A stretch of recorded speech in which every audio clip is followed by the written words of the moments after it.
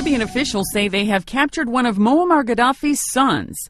They say Saif al Islam was nabbed as he traveled with aides in a convoy in Libya's southern desert. He is a, a criminal outside the law and he should be tried uh, in front of the Libyan court by Libyan people and by Libyan justice. He was considered Gadhafi's heir apparent.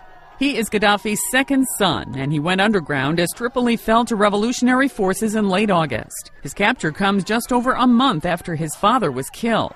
The International Criminal Court has charged Saif al Islam and others with crimes against humanity for the brutal crackdown on dissent as the uprising against the regime began. And the ICC's prosecutor says he will travel to Libya next week for talks with the country's transitional government on where Saif al Islam will be tried. Sandy Kozel, The Associated Press.